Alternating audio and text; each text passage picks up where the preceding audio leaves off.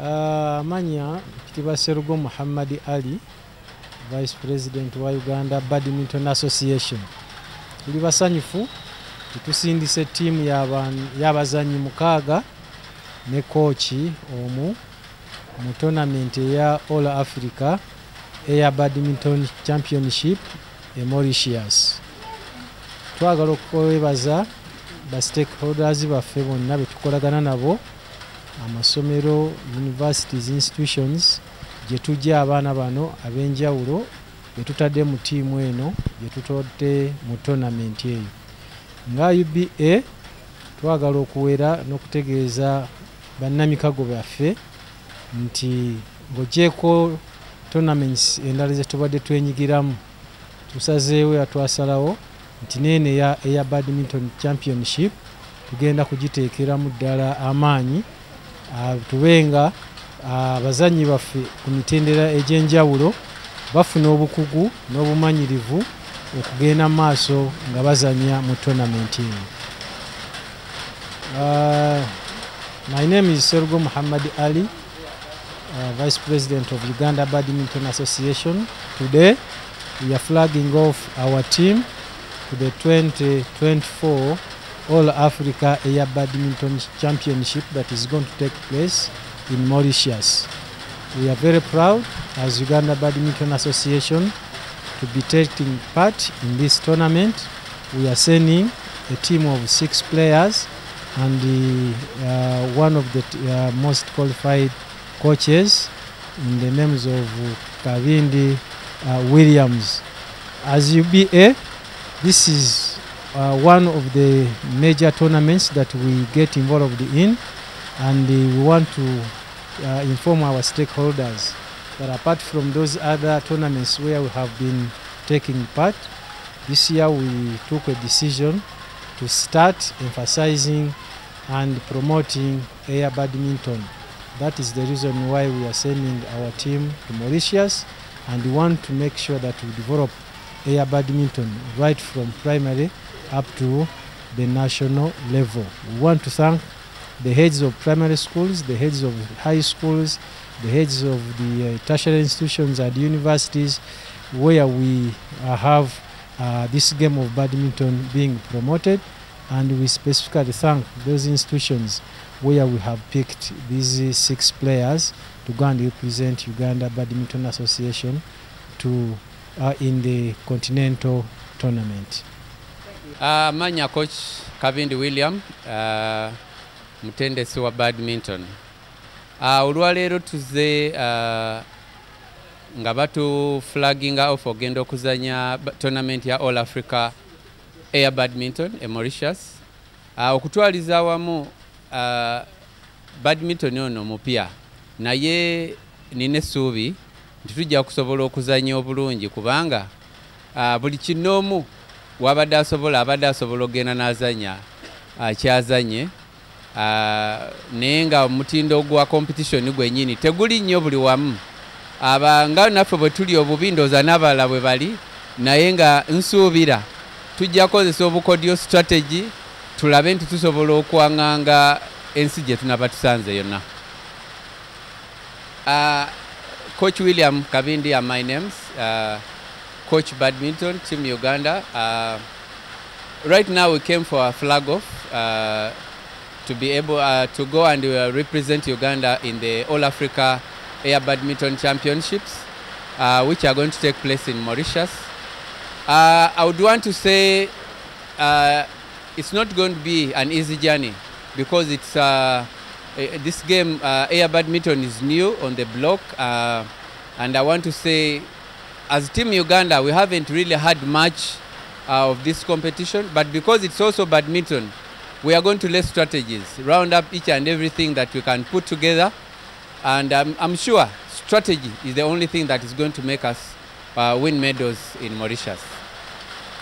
Augustus uh, team captain eya badminton team egenda representing uganda e mauritius mu mpaka all africa air badminton championships nga essaawa zino tuli ku flag off ngaera tweteeseteese bulungi nnyo okugenda okulaba nga tuwangula. Ah, twetekedde empaka zino eno nga bakoki baffe basobodde otuyisaamu obukodyo obunasobozesa otuwangula ng'era tusuubira obuwanguzi. Ah, engeri gye kiri nti guno omuzannyo mupya era genda beera experience mpya era nga etonamenti yaffe esoose omuzannyo gwa air badminton gwawukanako ne ku indo badminton wa bulijjo gwe tuzannya. Ng'era engeri y'okuzannya eyawukanira ddala kuba badminton wa bulijjo tuso- tuzannya abantu osozanya sekinoomu ne tuzannya ababiri nekikoomaawo oba ne tumikisinga omuwala n'omulenzi. Mu air badminton tusobola ozannya abazanyi basatu ku kooti emu. Tusobola ozannya abalenzi babiri kooti eyawukanira ddala era amateeka gawukanyadda naye abatendesi baffe basobodde tuyisa mu mateeka gonna era buli kimu tukimanye bulungi era tweteeseteese bulungi. Owin augustus team captain air badminton that is being flagged off today to mauritius to represent uganda in the all africa air badminton championships. Uh, we are well prepared to go and compete, and we are, we are expecting victory at the All Africa Air Badminton Championships. Um, since uh, it's a new sport and this is our first time to, to, to compete, it's going to be a new, a new experience. Uh, but what I can say, we have been taken through all the tips and all the training that is needed to see that we can compete favorably, and we are expecting victory. Well, uh, the, the two sports differ, the air badminton and the normal badminton.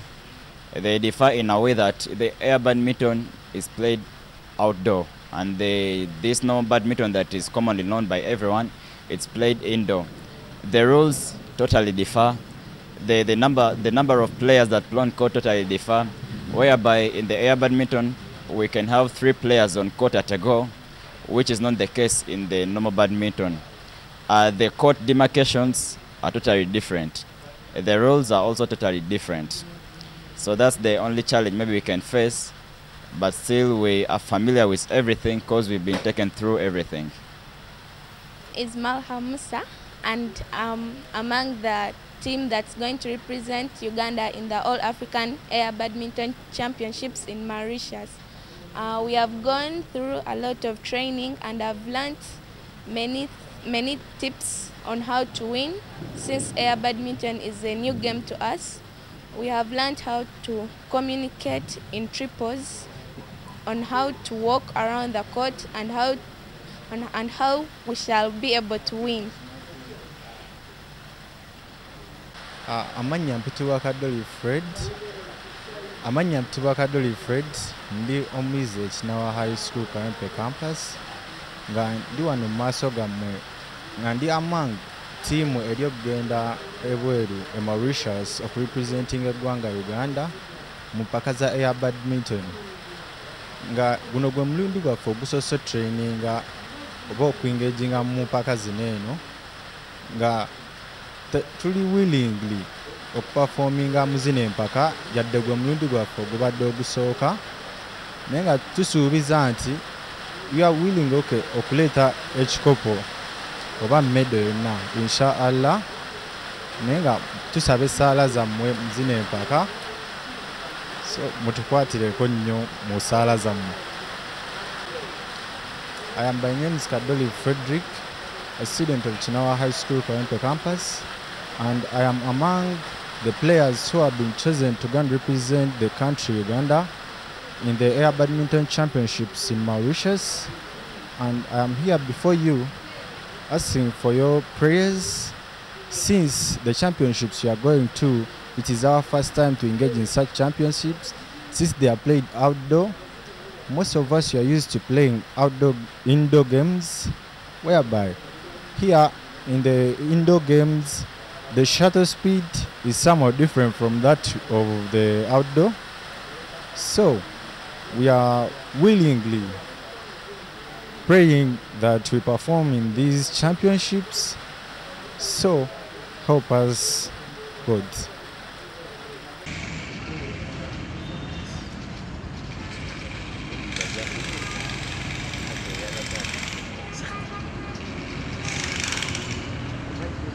Editing kifaananyi kasebanga waliwo ekikuba ezesingako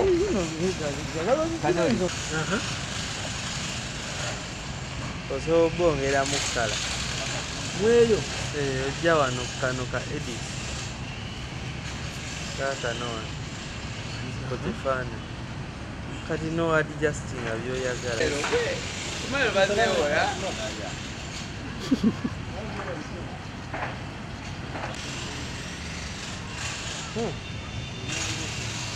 A- ate ne tesobola bba kuba bonna bonna nga ekigambo para tekirimu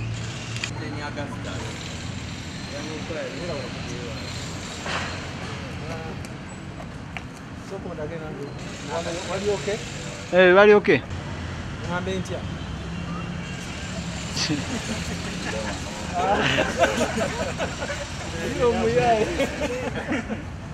ate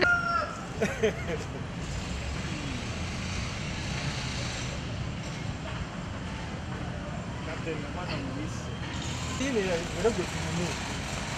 なんだやだ、黄色く持って俺が。